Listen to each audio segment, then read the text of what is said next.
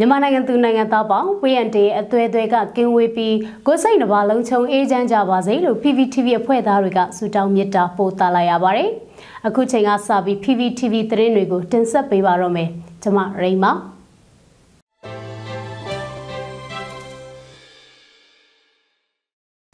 ဒီနေ့ဖေဖော်ဝါရီ23ရက်နေ့ဇာတပရင်းနေ့အတွက်တင်ဆက်ပေးမယ့်သတင်းကောင်းစဉ်တွေကတော့ ဂျာကာလာတေသန္တရပြည်သူ့အုပ်ချုပ်ရေးဖော်ဆောင်မှုဗဟိုကော်မတီနဲ့မြို့နယ်ပြည်သူ့အုပ်ချုပ်ရေးအဖွဲ့များတွဲဆုံဆွေးနွေးတဲ့သတင်းအကြမ်းဖက်စစ်ကောင်စီရဲ့အပြစ်မဲ့ပြည်သူတွေအပေါ်အကြမ်းဖက်လုပ်ရက်တွေကိုအမျိုးသားညွရေးအစိုးရထုတ်ပြန်တဲ့သတင်း နှစ်နှစ်မြောက်ပြည်သူဒေါ်လန်ရေးအခမ်းအနားနဲ့6နှစ်မြောက်ရိုဟင်ဂျာလူမျိုးသုံးတပ်ဖြတ်ခံရမှုအခမ်းအနားသို့ပြည်ထောင်စုဝန်ကြီးဦးအောင်မျိုးမင်းတက်ရောက်တဲ့တဲ့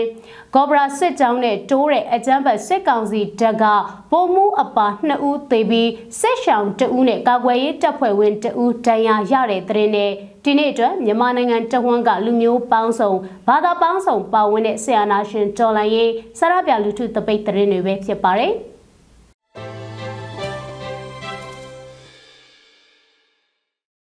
ပထမဆုံးတင်ဆက်မှာကဂျာကာလာတေသန္တရပြည်သူ့အုပ်ချုပ်ရေးဖော်ဆောင်မှုဗဟိုကော်မတီနဲ့မြို့နယ်ပြည်သူ့အုပ်ချုပ်ရေးအဖွဲ့များတွဲဆုံဆွေးနွေးတဲ့တဲ့မှာအမျိုးသားညီညွတ်ရေးအစိုးရအကြားကာလတေသန္တရပြည်သူ့အုပ်ချုပ်ရေးဖော်ဆောင်မှုဗဟိုကော်မတီနဲ့ရန်ကုန်တိုင်းမန္တလေးတိုင်းမကွေးတိုင်းမှမြို့နယ်ပြည်သူ့အုပ်ချုပ်ရေးအဖွဲ့များတွဲဆုံဆွေးနွေးပွဲအစည်းအဝေးနှစ်မြင်ဆောင်2023ကိုဖေဖော်ဝါရီ22ရက်မွန်းလွဲတန်နိုင်မှာပြုလုပ်ခဲ့ကြပါတယ်။ အစည်းအဝေးမှာဂျာကာလာတေသန္တရပြည်သူ့အုပ်ချုပ်ရေးဖော်ဆောင်မှုဗဟိုကော်မတီအဖွဲ့ဝင်လူသားချင်းစာနာထောက်ထားရေးနဲ့ BND ရဲ့ဆိုင်ရာစီမံခန့်ခွဲရေးဝန်ကြီးဌာနပြည်ထောင်စုဝန်ကြီးဒေါက်တာဝင်းမြတ်အေးကစိုးမိုးနိုင်တဲ့ဒေသများမှာပြည်သူ့ဝန်ဆောင်မှုလုပ်ငန်းများကိုအကောင့်ထဲပေါ်လျက်ရှိကြောင်းဒေါ်လာရေးမှာညီညီညာညာလက်တွဲဆောင်ရွက်ရန်နဲ့လုပ်ငန်းဆောင်ရွက်ချက်များပေါ်လွင်ရန်လိုအပ်ကြောင်းလောက်ဆောင်ချက်များကိုထိထိရောက်ရောက်ဆောင်ရွက်ပြသရန်ဖြစ်ကြောင်း မြေပြင်မှလိုအပ်ချက်များအပေါ်ဆွေးနွေးကြရန်လိုအပ်ကြောင်းတက်ရောက်လာသူများအားလုံးလုံခြုံရေးကျန်းမာရေးကိုဂရုပြုကြရေးအတွက်ပြောကြားခဲ့ပါတယ်။အဲဒီနောက်ဂျာကာလာသေသန္တရပြည်သူ့အုပ်ချုပ်ရေးဖော်ဆောင်မှုဗဟိုကော်မတီအဖွဲ့ဝင်များဖြစ်တဲ့လက်ဆက်နဲ့ဆွေးရင်ဝန်ကြီးဌာနပြည်ထောင်စုဝန်ကြီးဦးစိုးသူရထွန်းနဲ့ဖက်ဒရယ်ပြည်ထောင်စုရေးရာဝန်ကြီးဌာနဒုတိယပြည်ထောင်စုဝန်ကြီးဦးချစ်ထွန်းတို့ကဆွေးနွေးပြောကြားမှုတွေပြုလုပ်ခဲ့ပါတယ်။ ဆက်လက်ပြီးတရားရေးဝန်ကြီးဌာနနဲ့လက်ဆက်နဲ့စွမ်းရည်ဝန်ကြီးဌာနတို့ကဝန်ကြီးဌာနရဲ့ဖွဲ့စည်းပုံလုပ်ငန်းဆောင်ရွက်ချက်များမူဝါဒနဲ့ထုတ်ပြန်ချက်များကို ရှင်းလင်းပြောကြားခဲ့ပြီးနောက်မြို့နယ်ပြည်သူ့အုပ်ချုပ်ရေးအဖွဲ့ဝင်များမှမူဝါဒလမ်းညွှန်ချက်များလုပ်ငန်းဆောင်ရွက်ချက်များမြေပြင်အခက်အခဲများနဲ့ပတ်သက်ပြီးသိရှိလိုတာများကို အပြန်အလှန်ဆွေးနွေးခဲ့ကြပါတယ်။ အဆိုပါတွဲဆုံပွဲသို့ပြည်ထောင်စုဝန်ကြီးများဒုတိယပြည်ထောင်စုဝန်ကြီးများအမြဲတမ်းအတွင်းဝင်များဌာနဆိုင်ရာများမှတာဝန်ရှိသူများနဲ့ရန်ကုန်တိုင်းမန္တလေးတိုင်းမကွေးတိုင်းမှမြို့နယ်ပြည်သူ့အုပ်ချုပ်ရေးအဖွဲ့ဝင်များတက်ရောက်ခဲ့ကြတယ်လို့ပြည်ထောင်စုနဲ့လူဝင်မှုကြီးကြပ်ရေးဝန်ကြီးဌာနကသတင်းထုတ်ပြန်ပါတယ်။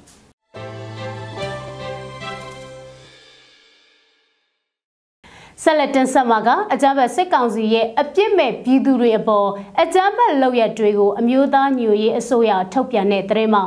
အကြမ်းဖက်စစ်ကောင်စီရဲ့အပြစ်မဲ့ပြည်သူတွေအပေါ်အကြမ်းဖက်လုပ်ရက်တွေကိုအမျိုးသားညွရေးအစိုးရလူသားချင်းစာနာထောက်ထားရေးနဲ့ဘေးအန္တရာယ်ဆိုင်ရာစီမံကန့်ကွယ်ရေးဝန်ကြီးဌာနကဖေဖော်ဝါရီ22ရက်မှာထုတ်ပြန်လိုက်ပါတယ်။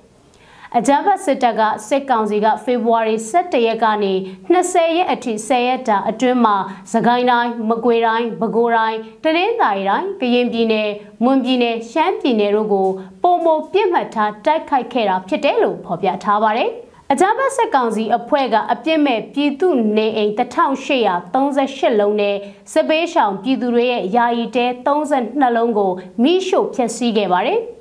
ဒါပြင်ကျမ်းမာရေးစေးပေးခန်းတွေစာသင်ကျောင်းတွေဘုံကြီးကျောင်းတွေစေးဆိုင်နှစ်ဆိုင်စပားတင်းရီထောင်ချီတဲ့စပကြီးတွေ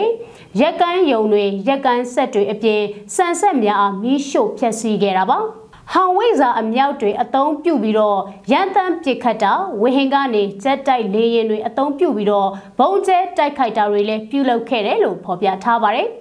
အဲ့ဒီဘုံကျဲတိုက်ခိုက်မှုကြောင့်အပြစ်မဲ့ပြည်သူ6ဦးသေဆုံးပြီးအပြစ်မဲ့ပြည်သူ12ဦးတန်ကားတော်တပားနဲ့ကိုရင်နှစ်ပါးတို့ထိခိုက်ဒဏ်ရာရခဲ့ကြပါတယ်အကြမ်းဖက်စစ်တပ်ကဂျေးရွာတွေအတွင်းကိုဝင်ရောက်စီးနှင်းက CDM ကျောင်းဆရာအပါအဝင်အပြစ်မဲ့ပြည်သူ9ဦးကိုတပ်ဖြတ်ပြီးအသက်80အရွယ်တီလာရှင်တပားကိုလည်းမိရှို့တပ်ဖြတ်ခဲ့ပါသေးတယ်။ လူသားတိုင်းကအဖြစ်အပြစ်မဲ့ပြည်သူ28ဦးဒဏ်ကတော့နှစ်ပါးတို့ကိုဖမ်းဆီးခေါ်ဆောင်သွားတဲ့အပြင်ပြည်သူပိုင်အဖိုးတန်ပစ္စည်းတွေခိုးယူတာအိမ်မွေးတရိษံတွေကိုတပ်ဖြတ်တာယူဆောင်သွားတာစတဲ့ပြစ်မှုတွေကိုဆက်လက်ကျူးလွန်လျက်ရှိနေတယ်လို့မြေပြင်သတင်းအရင်းမြစ်တွေအရသိရပါတယ်။အကြမ်းဖက်စစ်ကောင်စီရဲ့လူသားမဆန်တဲ့ရက်ဆက်ကြမ်းကြုတ်တဲ့လုပ်ရက်တွေကြောင့်ဘေးလွတ်နိုင်မဲ့နေရာတွေနဲ့တောတောင်တွေကိုထွက်ပြေးတိမ်းရှောင်နေထိုင်ကြရပါတယ်။ လူသားချင်းစာနာထောက်ထားရေးနဲ့ပြည်ရတဲ့ဆိုင်ရာစီမံခန့်ခွဲရေးဝန်ကြီးဌာနကအရေးပေါ်လိုအပ်နေတဲ့ပြည်သူတွေအတွက်လူသားချင်းစာနာမှုအကူအညီတွေအမြန်ဆုံးပံ့ပိုးနိုင်ရေးအတွက်သက်ဆိုင်ရာမြို့နယ်ပြည်သူ့အုပ်ချုပ်ရေးအဖွဲ့တွေဒေါ်လာရင်းအင်အားစုတွေနဲ့အတူအချိန်နဲ့တပြေးညီလက်တွဲဆောင်ရွက်လျက်ရှိတယ်လို့သိရပါဗျ။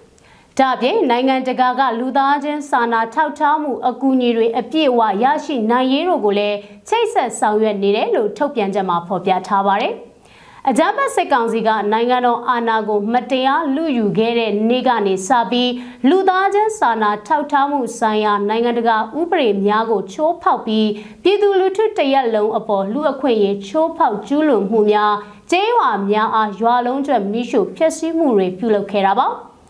ဒါပြင်ပြည်သူရဲ့အသက်အိုးအိမ်စီးစိမ်တို့ကိုတပ်ဖြတ်လူရဲ့ဖျက်ဆီးကနှီးမျိုးစုံတုံးပြီးလူသားမဆန်တဲ့လုပ်ရက်တွေကိုဆက်လက်ကျူးလွန်လျက်ရှိပါတယ်။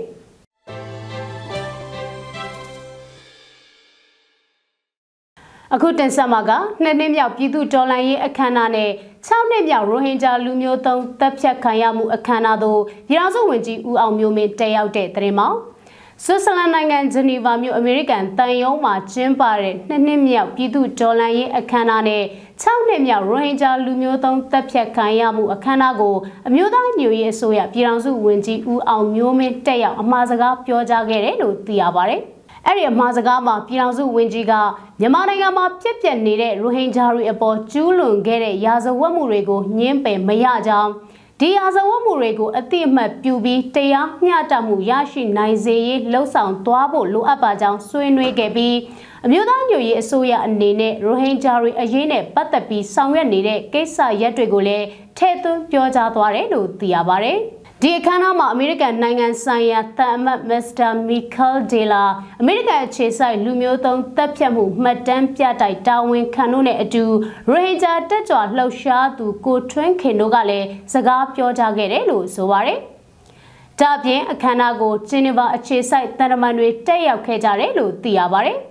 ပြည်ထောင်စုဝန်ကြီးအနေနဲ့ရိုဟင်ဂျာတွေအရေးကိစ္စနဲ့ပတ်သက်ပြီး2022ခုနှစ်ဧပြီလ4ရက်နေ့မှာအမေရိကန်နိုင်ငံနယူးယောက်ကလူမျိုးသုံးတပ်ဖြတ်မှုမှတ်တမ်းပြတိုက် Holocaust Museum မှာမင့်ခွင်ပြောကြားခဲ့ပြီး NUG အနေနဲ့လူမျိုးသုံးတပ်ဖြတ်မှုတွေနဲ့ပတ်သက်တဲ့တရားမျှတမှုဖော်ဆောင်နိုင်ရေးဆိုင်ရာဆက်လက်ဆောင်ရွက်သွားမယ့်လုပ်ငန်းစဉ်တွေနဲ့ကတိကဝတ်တွေကိုအတိအလင်းပြောကြားခဲ့တယ်လို့သိရပါတ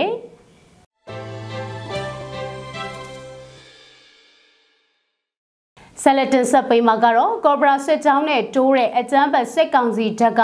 ဗိုလ်မှူးအပါ2ဦးသေပြီးစစ်ရှောင်2ဦးနဲ့ကာကွယ်ရေးတပ်ဖွဲ့ဝင်2ဦးဒဏ်ရာရတဲ့တဲ့မှာ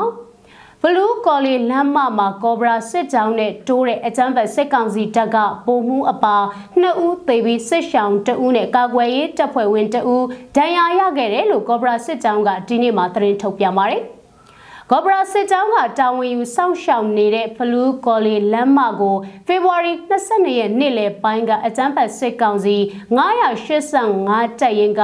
ရင်သုံးစီးနဲ့ဖြတ်တန်းသွားခဲ့ရာကနေကော်ဘရာစစ်ကြောင်းနဲ့ထိတွေ့တိုက်ပွဲဖြစ်ပွားခဲ့တာပါတိုက်ပွဲကြာချိန်ဟာ15မိနစ်ခန့်သာကြာခဲ့ပေမဲ့အကြမ်းဖက်စစ်ကောင်စီတပ်ကဗိုလ်မှူးတအူးနဲ့အခြားအဆင့်ရှိသူတအူးသေဆုံးခဲ့ပြီး၄ဦးတန်ရာရခဲ့ပါတယ်။ အကြမ်းဖက်စစ်ကောင်စီတပ်ကလည်းသူတို့ကားပေါ်ကနေရန်တမ်းပစ်ခတ်မှုတွေကြောင့်ဒုက္ခသည်စခန်းမှာနေထိုင်ခိုလုံနေတဲ့ပြည်သူတအူးဦးကောင်းတန်ရာရရှိခဲ့ပါတယ်။ကော်ဘရာစစ်ကြောင်းကရဲဘော်တဦးတန်ရာရရှိခဲ့ပေမဲ့ပြည်သူမြစ်တာကြောင့်စိုးရိမ်စရာအခြေအနေမရှိဘူးလို့သတင်းထုတ်ပြန်ထားပါတယ်။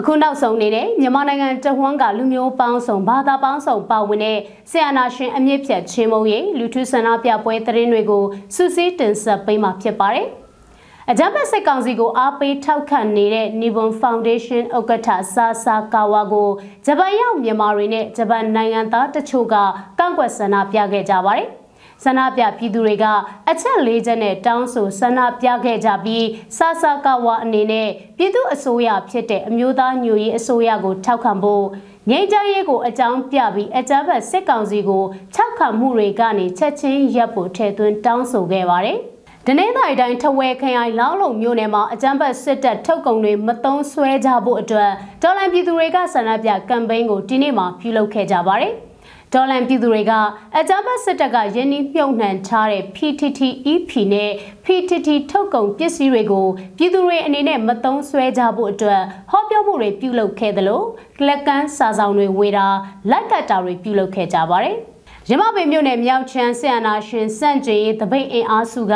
ဒီနေ့မှာအကြံပတ်စစ်တပ်ကြားရှုံးရေးအဖြစ်အာယုံဦးတပိတ်ကိုပြုလုပ်ခဲ့ကြပါတယ်။ဆန္ဒပြတော်လှန်ပြည်သူတွေကချုပ်ချယ်ရင်ရုံးကန် ဖိနှိပ်ရင်တွန်းလှန်တိုက်ပွဲအောင်လန်ထူကြလွှန့်ကြဆိုတဲ့စာသားတွေကိုကင်ဆွဲပြီးအကြမ်းဖက်စစ်တပ်ကြားရှုံးရီဟစ်ကြွေးမှုတွေနဲ့ချီတက်ဆန္ဒပြလှည့်လည်ခဲ့ကြတာပါရမပင်စလင်ကြီးရွာပေါင်းစုံတပိတ်ကရက်ပေါင်း914ပြည်အဖြစ်နဲ့အကြမ်းဖက်စစ်တပ်ကြားရှုံးရီဆန္ဒပြတပိတ်ကိုဒီနေ့မှပြုလုပ်ခဲ့ကြပါတယ်။ ဆန္ဒပြတော်လှန်ပြည်သူတွေကလူထုအားကိုဗဟုပြုတပ်ပေါင်းစုကိုပုံဖော်အစရှိတဲ့စာသားတွေကိုကင်ဆောင်ကအကြမ်းဖက်ဆရာနာရှင်အမြင့်ဖြတ်ချင်းမုံရေးချီတက်ဆန္ဒပြခဲ့ကြတာပါဒေသခံတော်လှန်ပြည်သူတွေဟာနေမြေမငြိမ်သက်မှုတွေကြားတွေကနေအကြမ်းဖက်စစ်တပ်ကြာရှုံးရေးဆန္ဒပြတပိတ်ကိုနေ့စဉ်ပြုလုပ်နေကြတာပဲဖြစ်ပါတယ်။